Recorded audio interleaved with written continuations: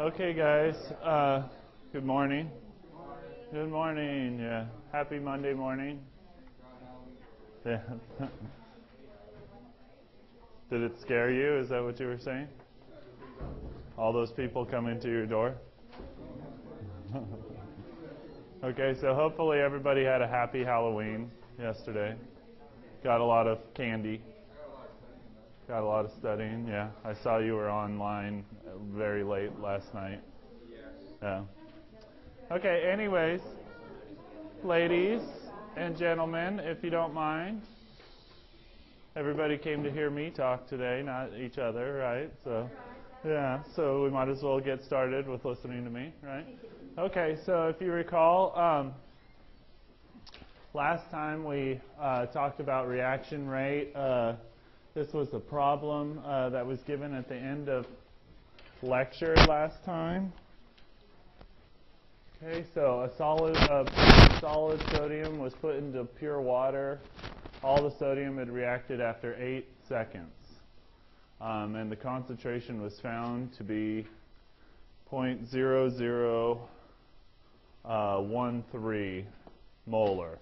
How do you figure out uh, this problem? So let's go ahead and figure out, well, what's the average rate here?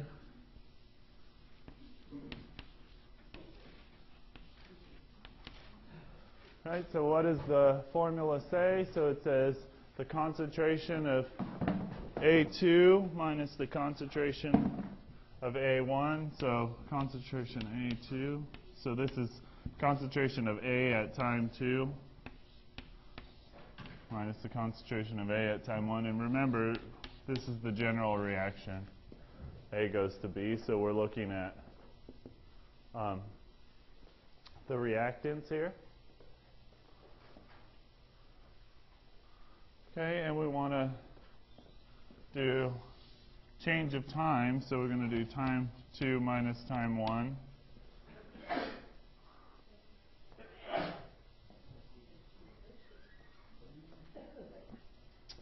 And then we say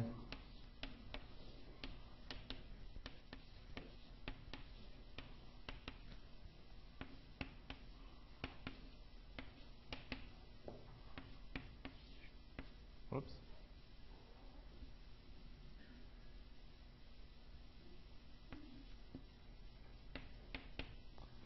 Time one like that. And then let's figure out what these variables are. So what's concentration A1, what is that going to be? Does anybody know? Since everybody did this problem over the weekend like we were supposed to, right? Um, everybody should be telling me what's going on. So what's concentration A1? Okay, good job, guys. So why don't you guys do this on your own? Um, and uh, we'll go over it tomorrow when you guys can tell me what the answers of this are, okay? Okay, so let's start talking about reaction mechanism then. Uh, so a reaction mechanism is stepwise changes that reactants undergo in their conversion to products. Okay, I'll show you a reaction mechanism. And we want to think about, uh, so I'll erase this stuff here.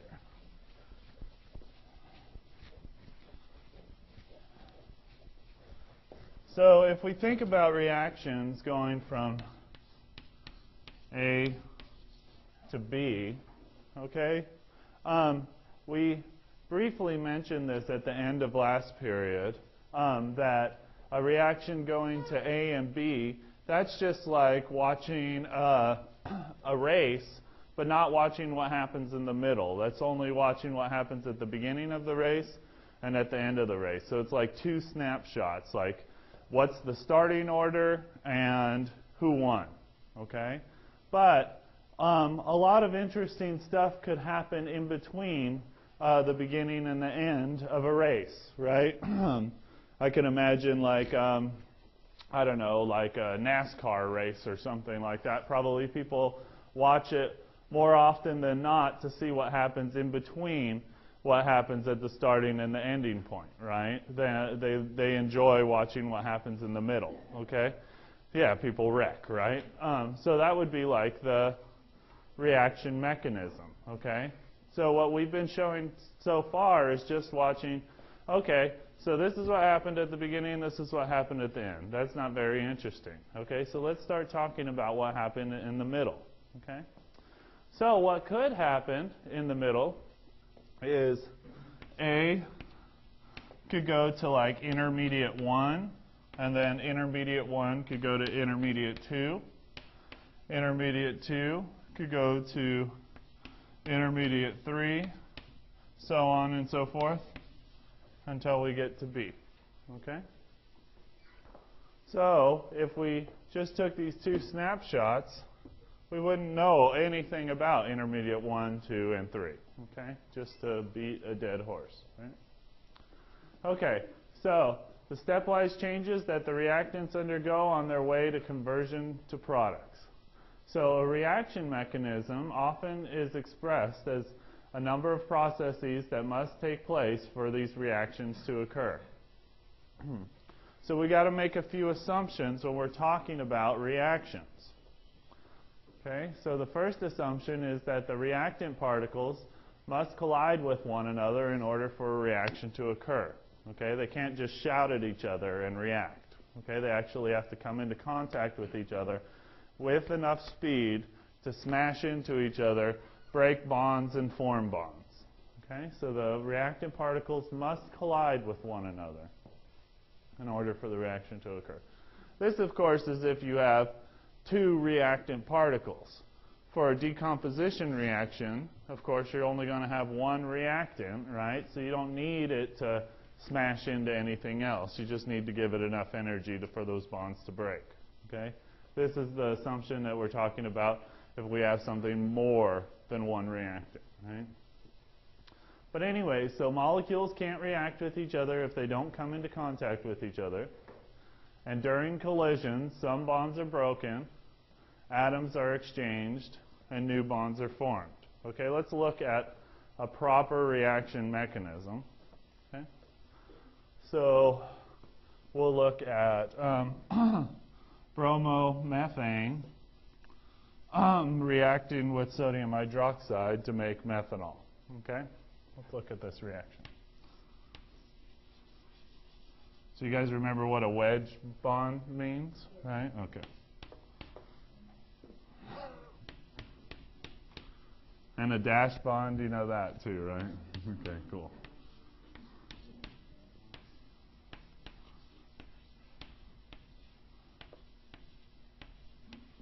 Okay, so the reaction that I'm going to write here is going to be CH3Br, this is the liquid, plus NaOH, uh, we can make this aqueous, goes to CH3OH plus Na, whoops, CH3OH liquid plus NaBr. Aqueous is good enough for me. Okay? So, when we put NaOH into water, everybody probably understands, hopefully, that it's going to dissolve into water, breaking into its two constituent ions, Na and OH. Okay?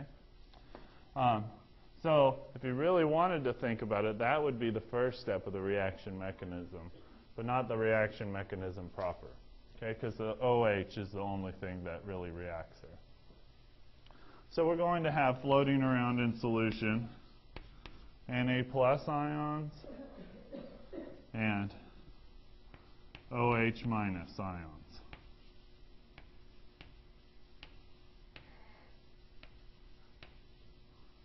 like that. Here, let's just draw this bond out.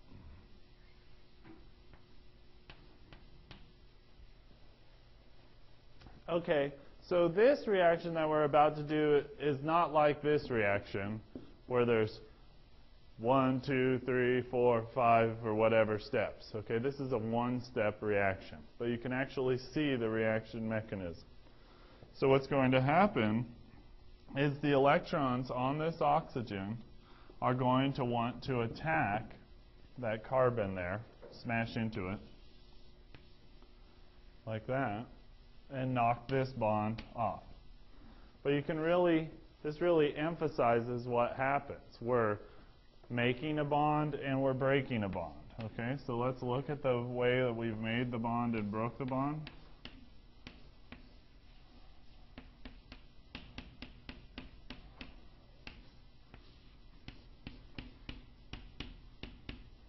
Okay.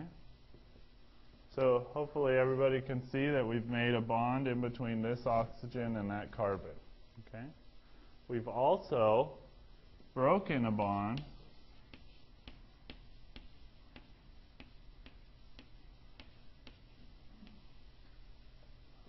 between that carbon and that bromine. We broke that bond there. Okay? So this is a one-step mechanism. All that happens is the one piece smashes into the other piece and knocking the third piece away. Okay? So can everybody see what's going on here? And see how we're describing what is actually happening during the reaction as opposed to just saying what we've said up here. This, now this. Okay? So now we're actually saying this is how this molecule came into being. Right? That makes sense, right? Okay. This is like a boxing match, right? Instead of just watching two people stand here and then one person fall down, right? Or one person on the ground, you can see the actual punch that happened, okay, to knock the person down. This would be the punch that happened, okay? Okay?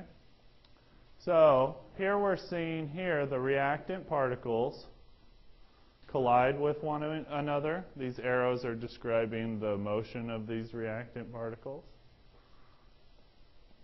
We're showing the bonds being broken right here. We see this bond is being broken. We see this bond is being formed. Okay, so we uh, also assume that the reactant particles collide with a certain amount of energy so the reaction will occur. If they don't, if you, it's like in the boxing match, if the guy just taps the other guy, he's not going to fall down, right? So you got to have enough energy to knock the guy out. Um, and in some cases, reacting particles must be oriented in a specific way for the reaction to occur. So, like for this reaction, this reaction only will occur if this oxygen hits this carbon at this spot. If this oxygen came over here, whoops, and ran into that bromine right there, this reaction wouldn't occur, okay? Because this oxygen wants to make a bond with this carbon. If it's hitting it here, it can't make a, the reaction. It's like the boxing uh, analogy again, right? if the boxer that wanted to win hit the other boxer on his foot, right, probably wouldn't knock him out, okay? So you got to hit him in the right spot, okay? Not in the little toe. Okay? So, what we've just described is known as an effective collision. Okay? So, at all temperatures above absolute zero, bonded atoms of molecules vibrate and stretch. Okay? So what happens is you can see the bond here. This is the average length of the bond. But when you've got some sort of temperature involved, they kind of stretch and bend and do all weird stuff, okay? But they don't stretch enough to where the bond breaks, okay? So a bond is like kind of like um, I don't know, uh, like a spider web or something that you that you get stuck to your hand, right? So when you get stuck to your hand, right, you pull it and pull it and pull it until it breaks, okay? And that's when the reaction occurs, okay? But what happens is they can pull and stretch and bend without actually breaking, okay? And this is the actual total energy that the molecule actually has within it. Okay, so when we talked about bonds being stored chemical energy, that's what they're doing is using that energy just bouncing back and forth. Okay.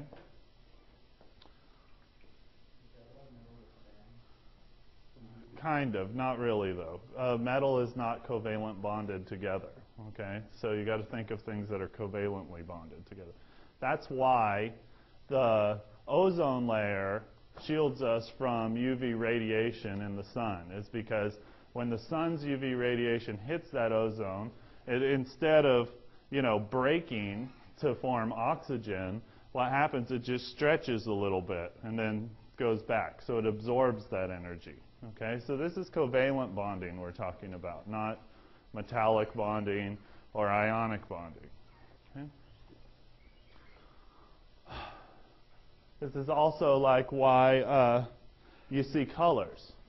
Okay, so the colors are um, absorbing that light and then reflecting reflecting the light that they're not absorbing back, and that's the colors. Like your shirt's not absorbing purple, and your shirt's not absorbing green. Okay, that's why we see those colors. Okay, but this is what happens in covalent molecules. They stretch and bend and do all this stuff. So they have a certain amount of internal energy, is what we call that. Okay, this internal energy can be increased by collisions. Okay, so it's just like you can imagine. Um, you know, you can pull something apart harder or push it together harder, and that's giving it even more energy. Okay? So this results in more vibration, more vibration, more vibration until the thing actually breaks. Um, so if it breaks, then we call that a reaction. Okay? So it's not anything special. We have all these special names for all of this mundane things that actually are happening. Okay? So if we look at this reaction here, um, CH4 and O2 are the reactants. So we'll do a less detailed analysis than we have done here. But we got CH4. Notice this is the Lewis structure that I'm drawing here. And O2, like that. Okay, well, we've got two O2 molecules. Like that. We call it a reaction. A reaction. Right?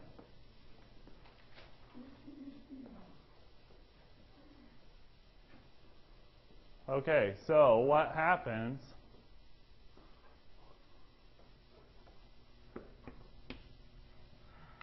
Whoops.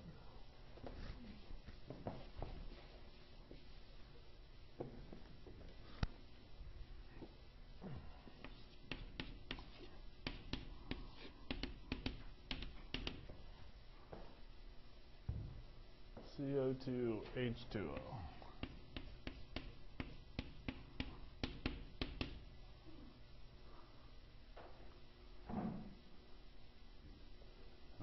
two of those, right?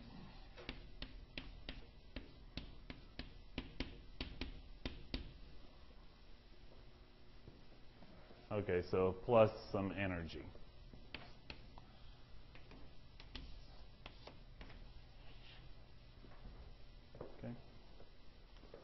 So,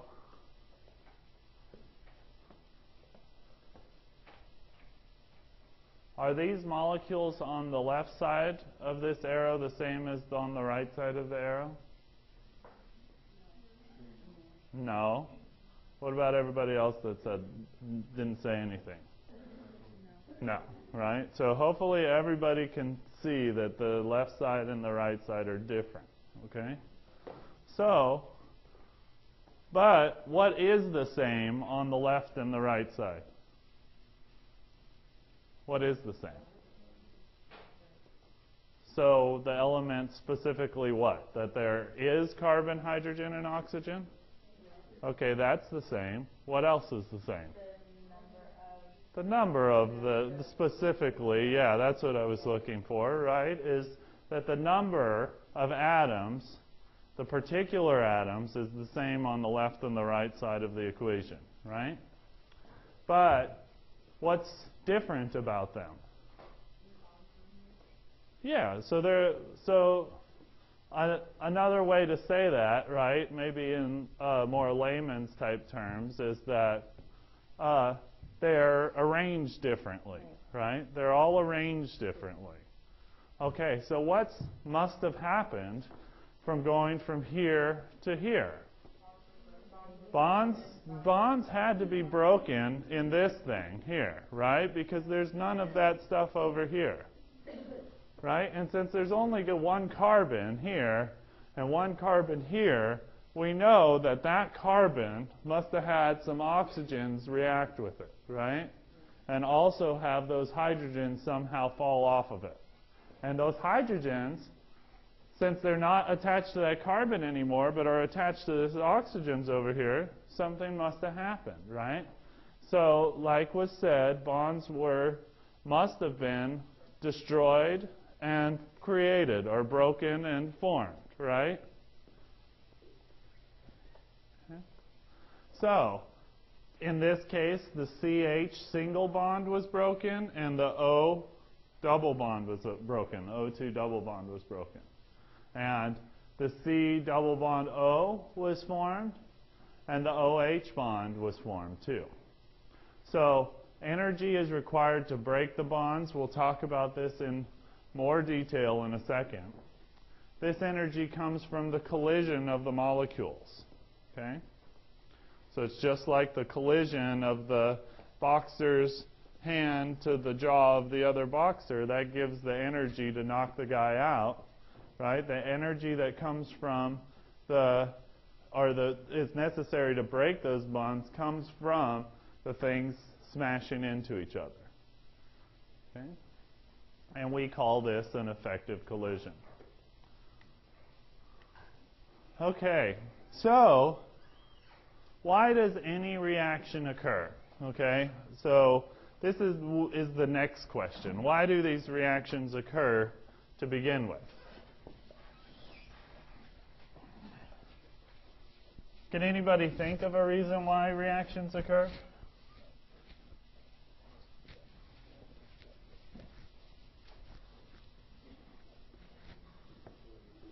There's no wrong answers right now. Well, I mean, there's wrong answers, but don't worry about it. but don't worry about getting them wrong, okay? So, can anybody think of any reason why a reaction would occur?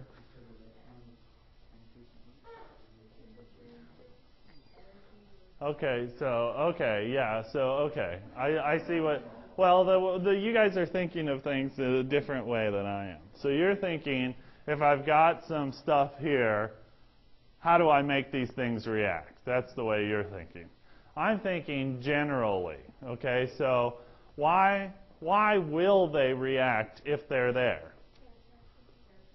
Kind of, yeah, that's one kind of reason. They, they'll hit each other, yeah, that's kind of that temperature thing again, but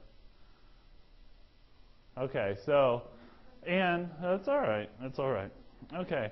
So, in the universe, I think we've talked about this, that things always want to go down in energy. Okay? So, since, uh, if you, I guess, if I want to say it right, um, if I've got a couple of things that will react together, okay, the reason that they'll react together is because the thing that they'll form is going to be at a lower overall energy state than they are already. Okay? So, that's what's being shown right here. Okay? So, normally you'll see reactions, spontaneous reactions specifically, where the reactant's overall energy is significantly higher than the product's overall energy. Okay? So, it's like, why does something fall down? Why doesn't it, if I just put this here, why does it just stay there? Yeah, but I mean gravity. What it, well, that doesn't mean anything to me. Tell me more about gravity. What is happening here? Huh? Okay, so it's an attractive force, right? There's an attractive force. So, okay, so do I have um, more attraction that when I'm way up here, or more attraction when I'm up here or down here? Well, what what happens when it gets to the center? Then that must be the least attractive force. Is that what you're saying? If that's the least attractive force, wouldn't they bounce away from each other? If it's the least amount of attraction, that's like, what's the most amount of attraction? It's like when they're stuck together, right? That's going to be the most amount of attraction, right? If they're things that are not attracted to each other, if they're like next to each other, what do they do?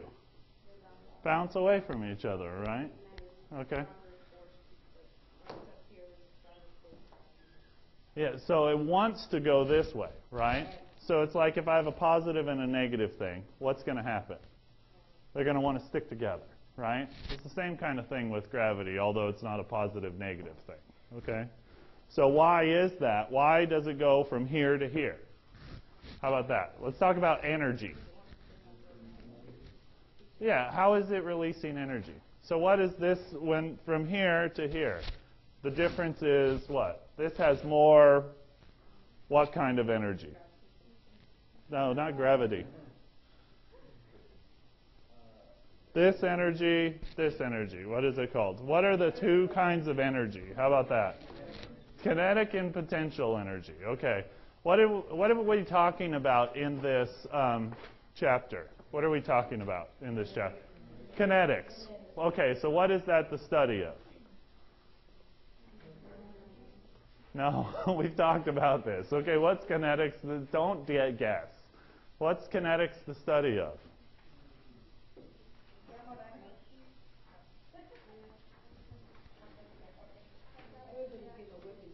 Okay, and when we're talking, kinetics specifically is the to- topic of rates. Okay, rates.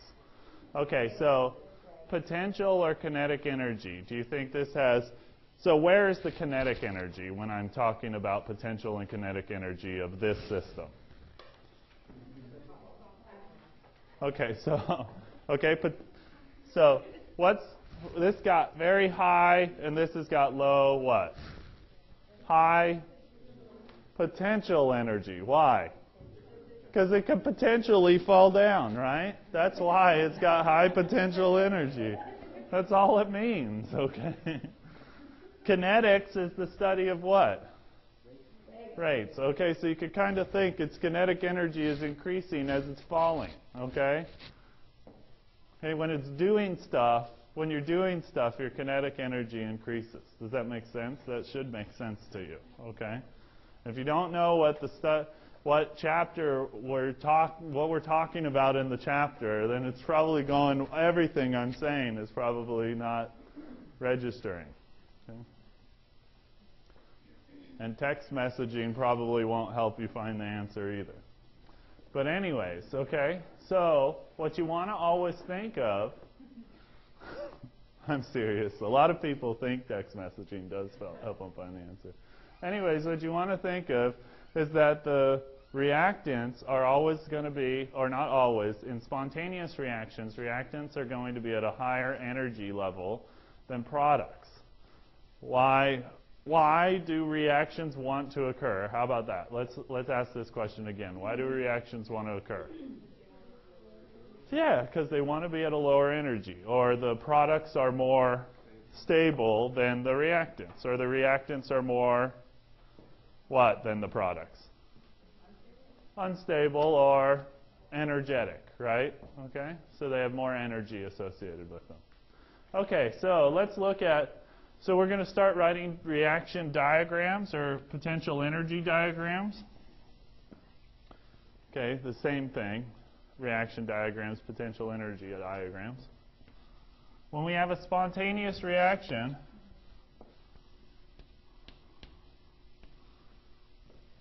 the reactants are going to be up here. The products are going to be down there. And we're going to lose energy. When we lose energy, do you remember I said this thing at the end has energy also? That little triangle is my little campfire symbol for energy, okay? Okay, so what's happening in this reaction? When I say it's giving off energy, what do you think is what I'm what am I feeling? Heat, heat, right? This is like if you do this reaction, you can boil water, right? Because this is the reaction of the Bunsen burner. Okay? Yeah, it's an exothermic reaction. Okay, so that's what we're talking about here. I don't know who if we've talked about exothermic yet, but we can start. We call this an exothermic reaction because heat is one of the products. We can also tell that because the reactants are at a higher energy state than the products. Okay? So in order so remember the only thing that's different between this side and this side is that they're connected to different things, right? So it's not like we're getting rid of some of these things to lower the energy, right? We're not saying, okay, now we don't have this carbon atom anymore. Okay, so how are we getting, what's happening? Where is all this energy going, right? That's the question I just asked. That's the question I just asked, and you answered it in a different way. You said that you're feeling the energy come off as heat, okay? So that's what actually happens, is that um, the reaction will get hot, okay? In this case, it'll um, produce fire, you know, and uh, keep uh, going until you get rid of the reactants. Okay? But also, um, when you do the Bunsen burner reaction or the same reaction as like turning on a gas stove, if you guys got a gas stove at home, um, when I mix oxygen and methane, okay, does just the mixture of oxygen and methane uh, start on fire and get the reaction going? No. No. What do you have to do to it? You can't just mix those things together and then expect it to go. You have to give it a spark. Yeah, you got to activate it. Very good. Yeah, you got to activate it. Okay? So you've got to give it a bit of external energy, okay? It's like the first time you were on the diving board or something, right? And you didn't want to jump off, but your big brother was there behind you to just give you that little activation energy to get you off of that, right? Because you had a lot of potential energy and now you went down in energy. That's a spontaneous reaction, as we know, falling, right? Like this. This is a spontaneous reaction. Why isn't the chalk falling right now? Because I got energy. I'm giving it energy. I'm like not letting it go, okay? So once I let it go, bam, that's like the activation of it, okay? Or me pushing, you know, my little brother or whatever. I don't have a little brother, but pushing my little somebody off of the diving board. The kittens, yeah, off the diving board. Okay? So here we've got, so this is your reaction, your reactants average energy. So they're just chilling, like in your beaker, just chilling, okay? Or they're coming out of the tube, you're smelling, it's like really smelly of rotten eggs because they just keep coming methane and methane and methane out of there. And somebody's like, you need to like spark that thing before we all blow up, right? Then you're like, oh, that's what I haven't done right, you know? So you get your sparker, pshing, okay, you spark it. That's your activation energy, okay? So notice this. So this axis here, this y-axis is energy. Okay, so we're this is low energy, this is high energy, this is even higher energy. Okay? This axis here is time or reaction progression. This is the beginning of the reaction. This will be the end of the reaction. Okay? So, activation energy, we call that. And then it just goes down to products. Okay, so let's mark the activation energy. Um, so it's from where the reactant started all the way up to the top there. Okay, we call that the activation energy. And its symbol is EA, like that.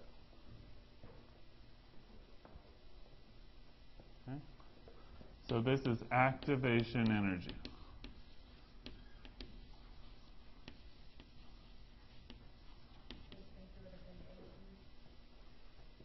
Oh, it's just uh, you can think of it as like this is how they always write it at the first letter, uh, first word at the bottom. But uh, you can think of it as the energy of activation.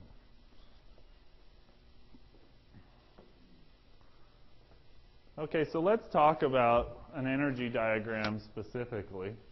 Okay, so an energy diagram uh, states the energy relationship for the uh, for the reaction that are illustrated graphically by diagrams in which the energy of reaction is graphed on the vertical axis, like we have here, and the progress of the reaction, or over time, is uh, on the horizontal axis.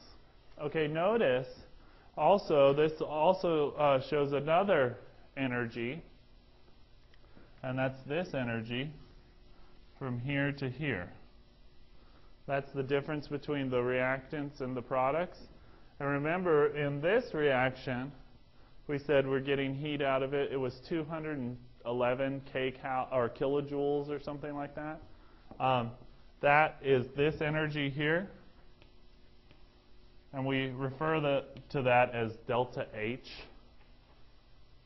You can think of H as heat. Okay? Delta H is the change in heat. Okay? But this stands for this new term called enthalpy. Okay, so this is the enthalpy. I'll write it down. But you can think of it as the change in heat. So delta H is enthalpy.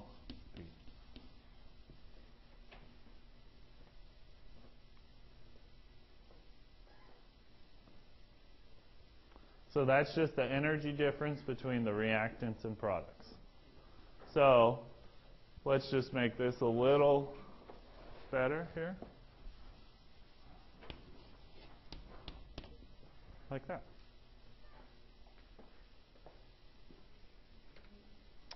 Okay, so here you go. Here's another common activation energy that you might be familiar with.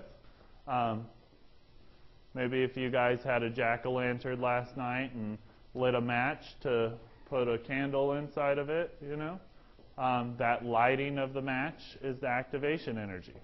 Of course, the match has a bunch of stored potential energy in it. How do you know that? Because if you rub it against the thing, What does it do?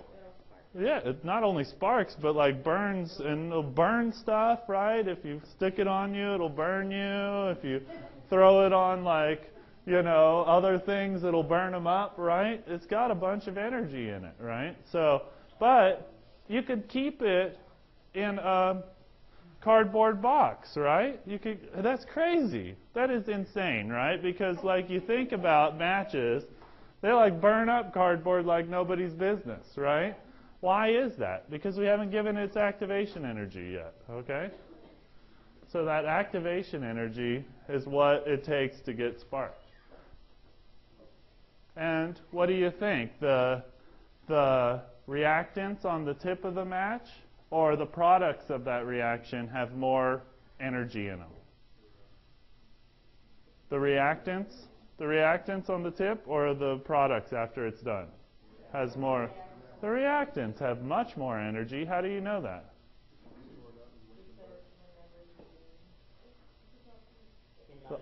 Oh yeah, all of those things, right? What happens? What happens? It gives off heat. You strike it, it does that. What happens if you strike the the match after it's done burned up? Nothing. Nothing will happen. huh? Yeah, it'll break all apart, right? Okay. So, um, in some reaction mixtures, the average total energy of the molecules is too low at the prevailing temperatures for the reaction to take place at a detectable rate. This, or the reaction mixture, is said to be stable. Uh, for many stable mixtures, addition of a small amount of energy, just like our match, uh, starts the reaction and continues without the addition of any more stimulus from an outside source until you use up your reactants, of course. Um, and then the small amount of outside energy needed to spark these spontaneous things are activation energy. And then here's the match example. Okay, so you can go back to this energy diagram, the activation energy, the minimum amount of energy required to initiate the chemical reaction. You want to become familiar with uh, the exothermic reaction because we've gone over it quite a bit for quite a bit of the lecture today. Okay, so here's a difference in two reactions. Notice this. This guy's got a low activation energy. So this stuff is almost unstable at those conditions, okay?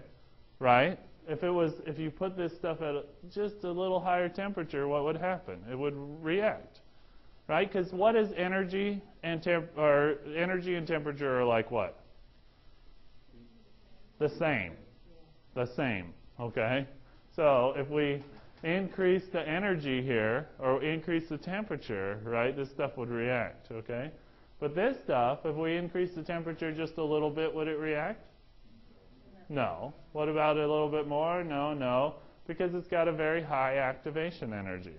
Okay? That makes sense, right? Okay, good. Notice here, which has the bigger delta H of these, A or B? A or B? A, right? If you don't know how to do that, watch the lecture again. Okay? Okay, so this reaction is known as an exothermic reaction. Why is that? It's because the reactants are at a higher energy level than the products. So the reactants have more potential energy than the products do. Okay? This is also an exothermic reaction showing, notice, the reaction mechanism at the top here. Okay? The interesting thing, or not the uh, reaction mechanism, we call this thing here the activated complex. Okay? So the activated complex is an intermediate, okay, or a transition state, I should say, a transition state. So this thing doesn't actually exist. It's the transition state between the thing forming and breaking bonds. Okay? So if we were to look at our example from earlier, the transition state would be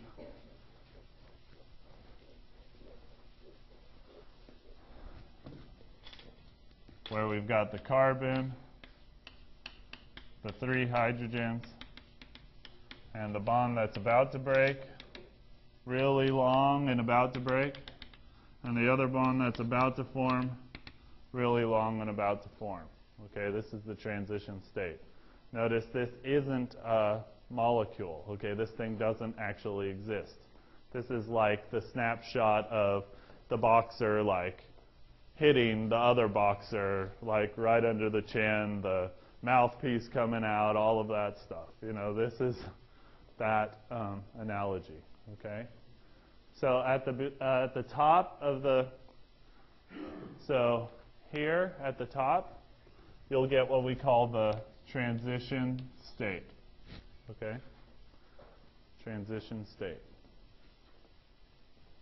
That's the transition from the reactants to the products. And notice you can see the kind of dashed bonds here, that's partial bonds. Okay? Notice this says because it's got a large activation energy, it takes a long time for this reaction to progress.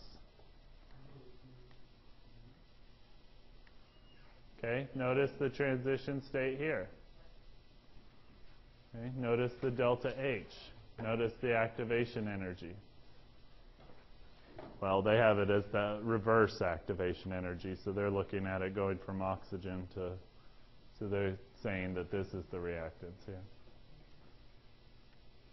Okay, and the last thing we want to talk about today before we get to leave is the opposite type of a reaction, where the reactants that are, are at a lower energy state than the products.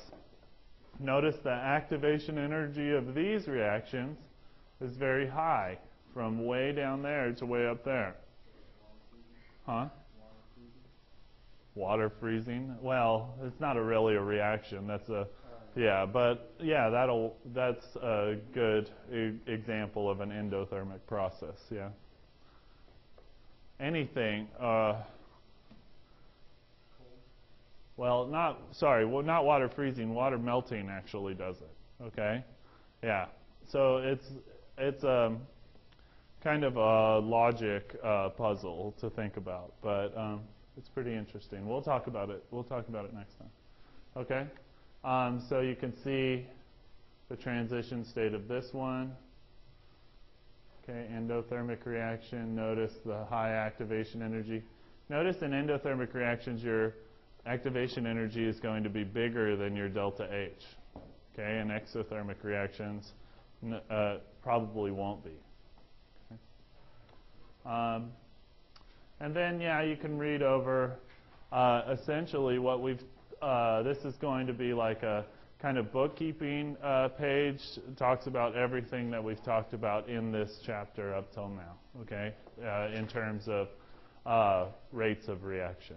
Okay, so thanks for coming today. I'll see you guys on Wednesday, I guess.